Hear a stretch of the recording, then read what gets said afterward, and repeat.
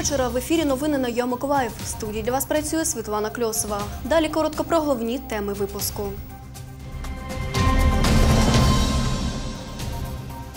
Про час прибуття громадського транспорту в Миколаєві відтепер інформує спеціальне табло. На Миколаївщині триває впровадження нової української школи.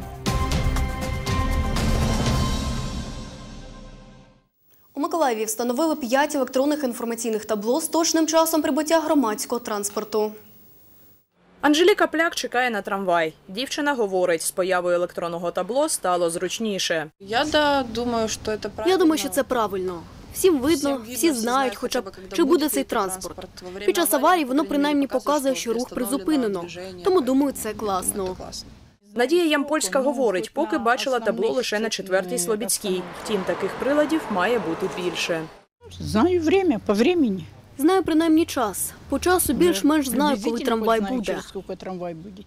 Все равно должно быть. Все одно мають бути не знаю скільки, скільки, але ну, хоча б на основних зупинках, де більше людей, мають бути.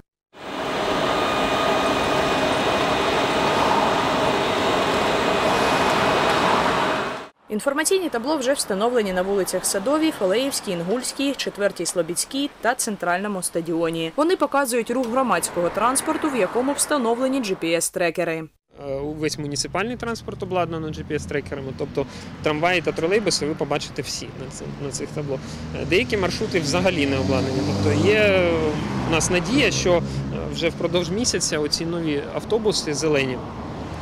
Вони будуть усі обладнані е, теж GPS-трекерами та під'єднані до цієї системи. Це пов'язано не з тим, що ми там щось не хочемо робити. Там просто ну, бюрократія, тендерні процедури, але це все буде е, скоро вже е, запущено.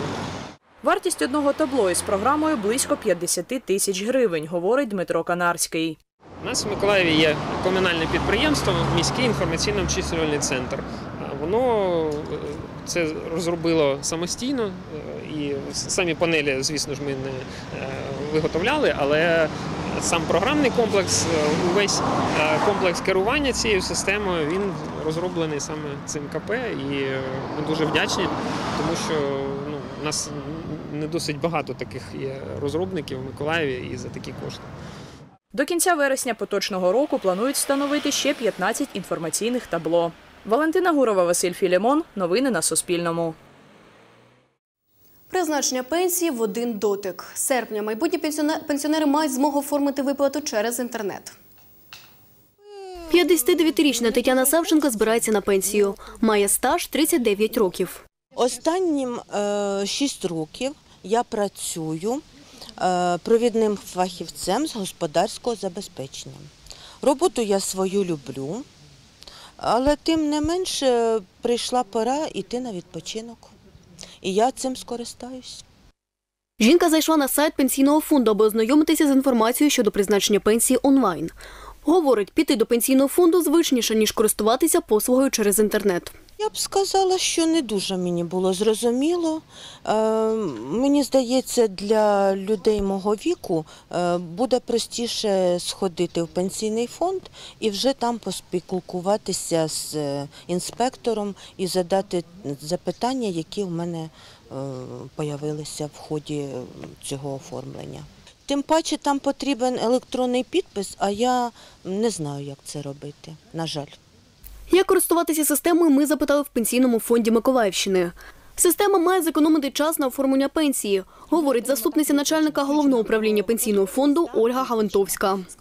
На сьогодні подача заяви на призначення пенсії займає е, досить багато часу е, у особи. Йому необхідно цій особі необхідно декілька разів звернутися до органів пенсійного фонду для того, щоб як результат уже була подана заява на призначення пенсії. На сьогоднішній день пенсійним фондом запроваджено новий електронний сервіс, який реалізовано через веб-портал Пенсійного фонду України. е, Пенсія в один дотик. Що передбачає даний сервіс? Даний сервіс передбачає можливість звернення з електронною заявою на призначення пенсії до територіального органу пенсійного фонду. Ми надсилаємо цю заяву автоматично, дистанційно не виходячи з дому. Пенсійний фонд отримує її та відпрацьовує.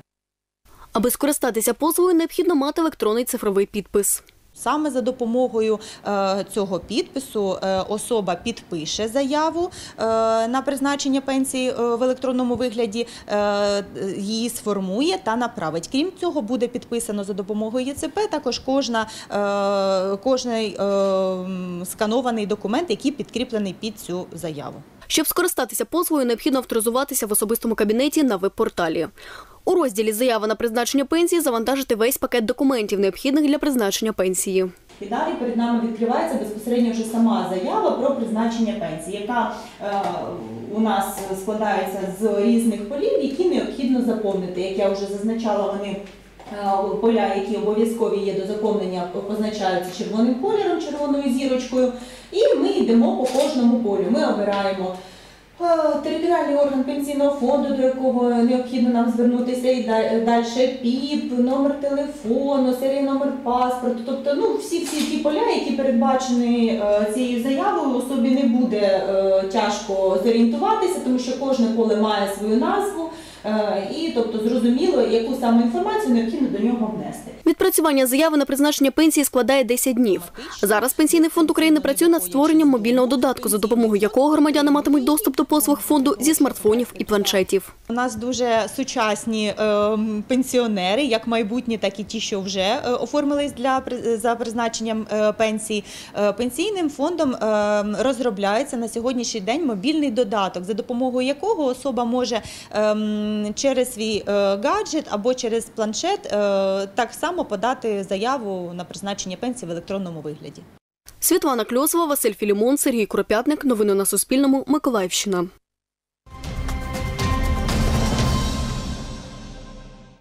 Повідомлення про знайдені в одному з дворів корабельного району хімічні реактиви надійшло на спецлінію 101 о 12.10. Коментує офіцер цивільного захисту Владислав Абрамов.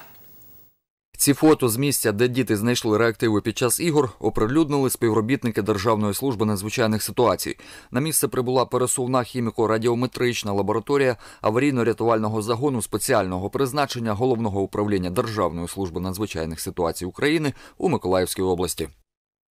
У ході хімічної розвідки групою радіаційного хімічного та біологічного захисту встановлено, що відкриті ємності містять речану кислоту. Наразі рятувальниками пляму із кислотою нейтралізовано, загрози для громадян немає. В поліції цю ситуацію не коментують. За перший тиждень заборони на вилов раків п'ять раколовок виявили та вилучили інспектори управління Державного агентства рибного господарства в Миколаївській області. Про це повідомила начальниця відділу іхтіології та регулювання рибальства Євгенія Харченко. За період заборони порушень щодо незаконного вилову раків не встановлено. Проте інспекторським складом під час рейдів було вилучені незаконно встановлені раколовки, власники яких встановити не було в можливості. На даний час триває заборона на вилов кефалі. Дуже багато браконьєрського вилову цього водного біоресурсу. Нагадаємо, заборона на вилов раків триває з 20 серпня до 20 вересня. В цей період річковий рак виняє, що робить його безза- беззахисним перед браконьєрами та водними хижаками. Покарання за незаконний вилов раків у цей період передбачає штраф від 340 до 680 гривень та відшкодування збитків, завданих рибному господарству України, а саме 25 гривень за одну особину раку.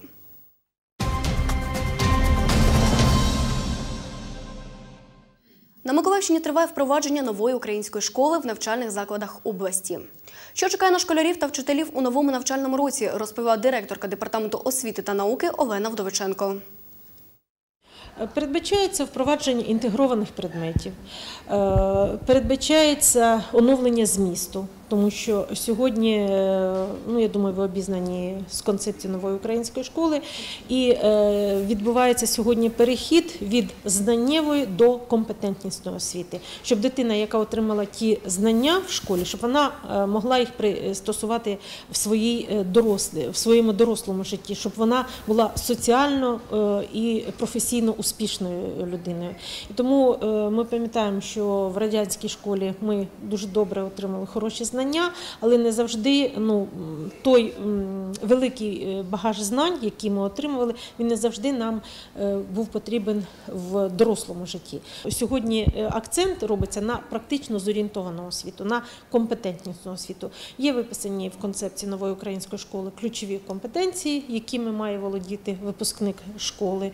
Звичайно, ці компетенції, щоб сформувати у учнів, повинні бути у вчителів. Тому і в цьому році запроваджується сертифікація вчителів. Е, Відбувся процес сертифікації вчителів е, початкової школи, і буде продовжуватися сертифікація вчителів для старшої школи.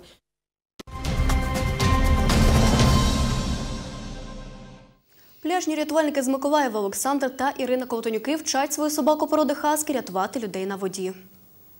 Давай, лежать, лежать. Молодец, сидеть. Аня, Аня, Ани, Аня, давай, сидеть. Иди сюда, давай, сиди, сиди, сиди. Дай лапу. Це Аймі. В перекладі з японської її ім'я означає прекрасна любов. Їй один рік. Власники собак Олександр та Ірина Ковтонюки щосезону працюють на пляжі у Рибаківці рятувальниками та здають в оренду водну техніку. Цьогоріч собаку взяли з собою. У нас не було в планах, щоб вона була там рятувальником. Ні, такого у нас не було. Просто е, так, ну, ну, гралися, не знаю. Приїхали в цьому році їй вже рік. Е, гралися, от там Аймі допоможи, допоможи. І вона бігла, бігла допомагати. В першу чергу рятувати е, свою хазяйку, ну, своїх членів родини. У Аймі є власний рятувальний жилет. Вона не боїться їздити на водному мотоциклі та іншій водній техніці.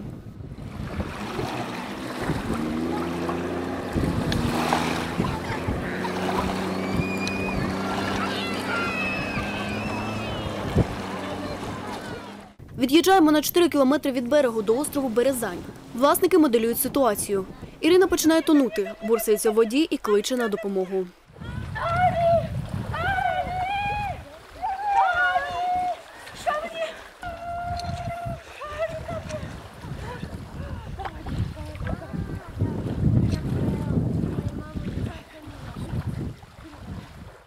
Завдяки спеціальному повідку собака тягне жінку по воді. Ірина врятована. В неї на рятувальному жилеті е, пристігнутий поводок. Ну, щоб е, для того, щоб не хапатися за саму собаку, а для того, щоб вхопитися за сам поводок, щоб собака мала можливість гребсти і тягнути за собою людину. Олександр Колтонюк говорить, Аймі гарна помічниця в роботі рятувальника. Розповів про характер улюблениці. Вона взагалі шиб, шибутна. Вона взагалі активна дуже, як будь-яка хаскі. Десь шкоду любить робити. У неї ще вік такий, їй тільки один рік. З нею не нудно. Ім'я їй давала дружина. Вона шукала. У неї ім'я зі змістом. В перекладі це прекрасна любов. Як каже дружина, ця собака мрія усього мого життя. Поки що Аймі реагує на крики про допомогу лише своїх власників та їхніх друзів. Проте по закінченню пляжного сезону Ірина та Олександр Ковтонюки планують звернутися за допомогою до кінолога та покращити навички собаки. Світлана Кльосова, Юлія Кускова. Новини на Суспільному. Миколаїв. На цьому наш випуск завершено. Бажаю вам гарного вечора.